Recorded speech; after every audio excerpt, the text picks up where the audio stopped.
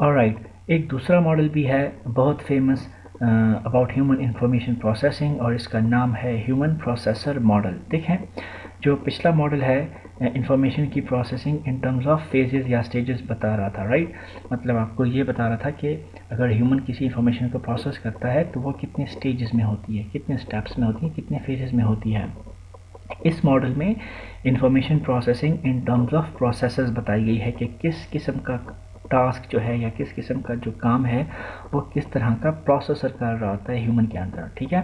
सो so, total तीन processors हैं एक है परसेप्चुअल दूसरा है कॉग्नेटिव एंड तीसरा है मोटर्स ये जो प्रोसेसर्स हैं ये ये सीरियल फ़ैशन में भी परफॉर्म करते हैं और पैरल में भी परफॉर्म कर सकते हैं.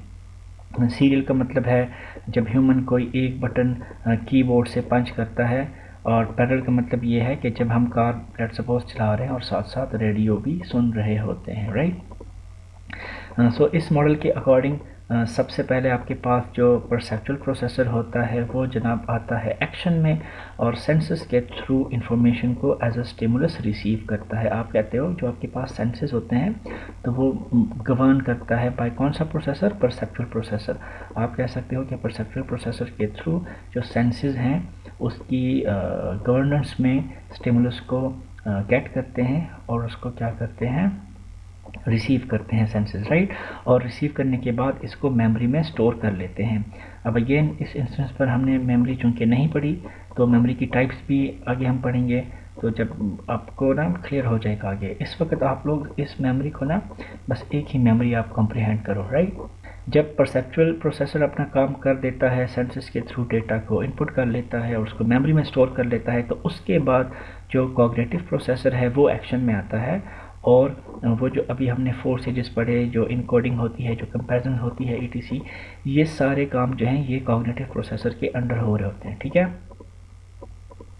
नोट करने वाली बात ये है कि कॉग्निटिव प्रोसेसर जब वर्क करता है तो वो मेमोरी के साथ कनेक्टेड होता है। इसका मतलब आप कह सकते हो कि जब कॉग्नेटिव जो जो प्रोसेसर है, जो इनकोडिंग हो रही होती है, अभी हमने पिछली स्लाइड में पढ़ी तो उस वक्त उसका जो कनेक्शन होता है, वो मेमोरी के साथ होता है राइट और जो जो इनकोडिंग है जो कंपेरिजन्स हैं तो वो जब परफॉर्म हो रहे होते हैं तो वो मेमोरी के साथ डेटा या वो तो मतलब एक्सचेंज कर रहे हैं या मेमोरी में डेटा आपका स्टोर हो रहा होता है या मेमोरी से डेटा रिकॉल हो रहा होता है ठीक है और लास्ट में आता है मोटर प्रोसेसर जो कि एक्शन की आप कह सकते हो एग्जीक्यूशन करता है थ्रू इफेक्टर्स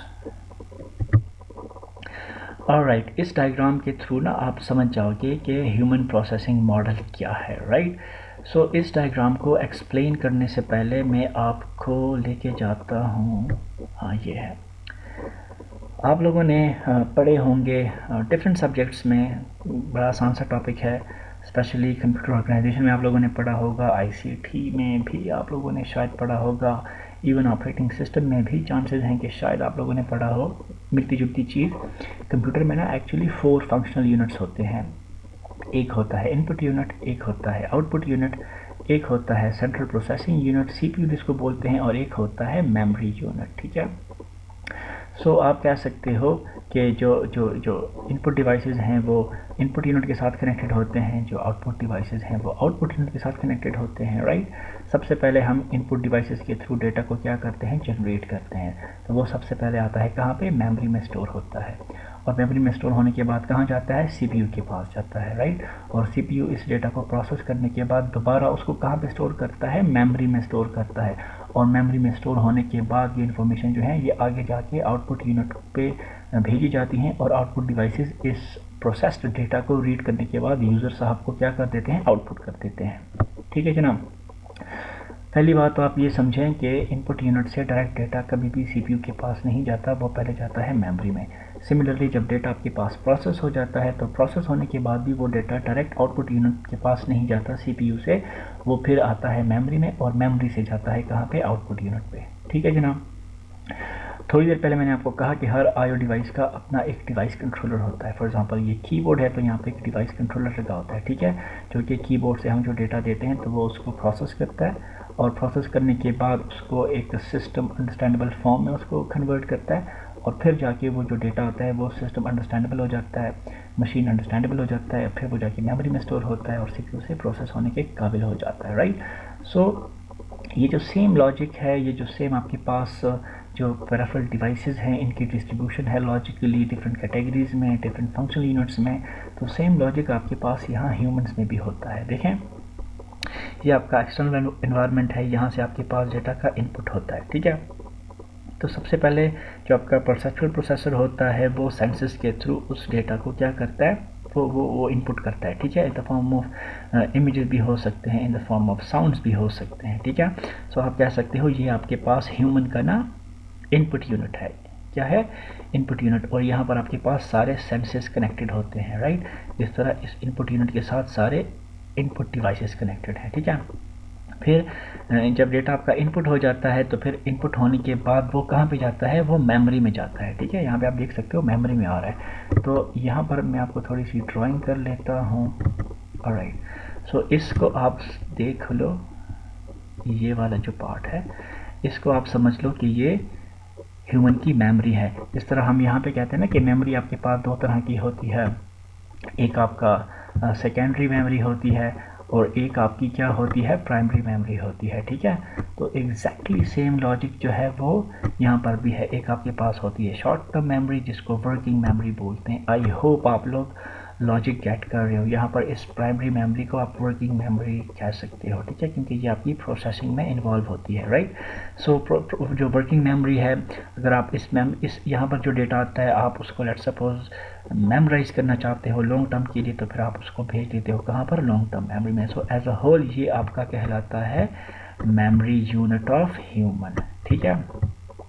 अगेन जो आपका जो मेमोरी है चाहे वो लॉन्ग टर्म मेमोरी है चाहे वो शॉर्ट टर्म मेमोरी है तो वो आपके पास जाता है कहाँ पर? कॉग्नेटिव प्रोसेसर के पास जहाँ पर एक्चुअली डेटा की प्रोसेसिंग होती है राइट right? सो so, आप इस कॉग्नेटिव प्रोसेसर को आप कह सकते हो कि this is C P U of human right so जिस तरह आपके पास मेमोरी से डेटा जा रहा है सीपीयू में तो डेटा उसको क्या करता है? प्रोसेस करता है। और प्रोसेस करने के बाद दोबारा कहाँ पे जाता है? वही डेटा देखो कहाँ पे जा रहा है? मेमोरी में जा रहा है, ठीक है? और मेमोरी के बाद वो जाके क्या करता है? जो आपके पास मोटर प्रोसेसर्स होते हैं, वो आपके पास जो इफेक्टर्स होते हैं, आप कह सकते हो कि this is the output unit this is the output unit और जितनी भी इफेक्टर्स हैं ह्यूमन के वो हमने पढ़े हैं वो यहाँ पर क्या होते हैं? कनेक्टेड होते हैं राइट मतलब वो यहाँ से इनपुट लेते हैं राइट सो so, जो डेटा आपका प्रोसेस हो जाता है वो इस मेमोरी के इस मेमोरी से जाता है। कहाँ पर? मोटर uh, प्रोसेसर के पास और मोटर प्रोसेसर आपका जो जो ह्यूमन के इफेक्टर्स हैं जो रिस्पॉन्डर्स हैं उनको ड्राइव करता है और कॉरस्पॉन्डिंग एक्शन परफॉर्म करवाता है राइट right? सो so, आप यहाँ पर देख सकते हो कि ह्यूमन की और कंप्यूटर की जो कॉम्पोजिशन है वो ऑलरेडी मिलती जुलती है जो लॉजिक है वो बिल्कुल सेम है right so thank you I hope आप लोग समझ गए होंगे कि जो ह्यूमन uh, है वो इन्फॉर्मेशन को प्रोसेस कैसे करता है। सबसे पहले आपको मैंने स्टेजेस की टर्म में बताया कि कितने स्टेजेस में आपका डेटा जो है वो प्रोसेस होता है ह्यूमन के अंदर राइट सो फोर स्टेजेस हैं इनकोडिंग होती है फिर उसके बाद कंपेरिजन्स होते हैं फिर सिलेक्शन होती है रिस्पॉन्स की और उसके बाद एग्जीक्यूशन होती है रिस्पॉन्स की। उसके बाद फिर हमने इस मॉडल को एक्सटेंडेड वर्जन उसका हमने पढ़ा कि आपके पास ये जो फोर स्टेजेस हैं, ये आपके पास जो दो कोग्नेटिव प्रोसेसेस हैं मेमोरी और अटेंशन उसकी आप कह सकते हो कि प्रेजेंस में हो रहे होते हैं राइट उसके बाद हमने दूसरा मॉडल पढ़ा ह्यूमन प्रोसेसर मॉडल और यही जो ह्यूमन की प्रोसेसिंग की जो इंफॉर्मेशन प्रोसेसिंग का जो जो जो जो प्रोसेस है वो हमने इन टर्म्स ऑफ़ प्रोसेसर पढ़ा कि कौन सा पर्टिकुलर टास्क ह्यूमन के अंदर कौन सा प्रोसेसर कैरी आउट कर रहा होता है। तो आई होप आप लोग समझ गए होंगे। इंशाल्लाह नेक्स्ट वीडियो में फिर दूसरा टॉपिक डिस्कस करते हैं। अल्लाह हाफिज़।